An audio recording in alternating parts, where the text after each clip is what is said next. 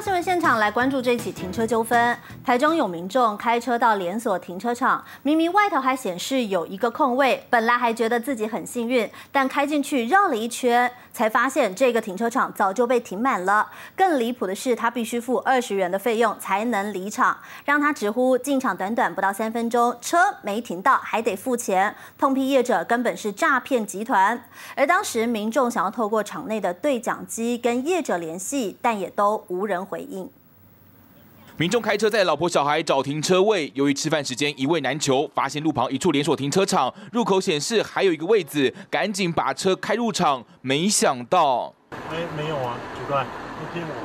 绕了一圈，没有一个车格是空的，民众只好把车开出去，却还得先支付二十元费用。准备出场前，入口处又有车辆要停进来，赶紧警告对方别当冤大头。没有车位了，进去就要二十块哦。诈骗集团。先把我骗进去之后，再来把我收费这样。整件事被分享到网络社群，有网友逗趣的表示，这个停车位可能跟国王的心意一样，一般人看不到，或是过路费的概念，还是说停车场也开始有低消，惊呼夸张不合理。记者实际来到这个停车场，发现目前停车场内只停了三辆轿车，但这里总共明明只能停三十辆轿车，但外头的显示器却显示剩余车位有二十八位，多出一位。